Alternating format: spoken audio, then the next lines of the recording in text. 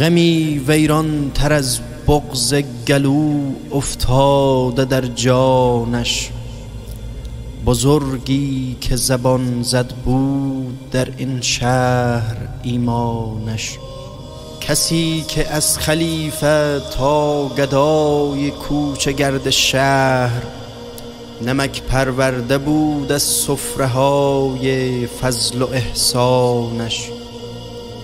به حکمت آیه آیه از لبش والعصر جاری بود. به رحمت هر سحر فوج ملک بودند مهمانش. سکوت اشک زهرا بود و باید خواند دریایش. شکوه نام حیدر بود و باید خواند طوفانش. کسی از پشت این در دست خالی بر نمی گردد مگر بخشیده باشد حضرت موسی دو چندانش. به عطر ربنای جاری بین قنوت خود بهشتی آفریده گوشه تاریک زندانش.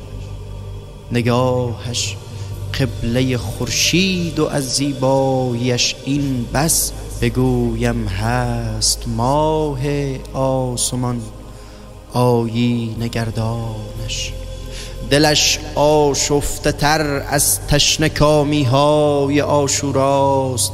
اتش پشت اتش میریزد از لبهای عطشانش.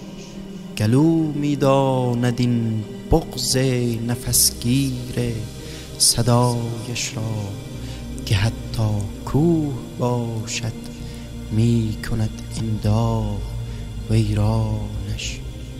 که حتی کوه باشد می کند این داغ ویران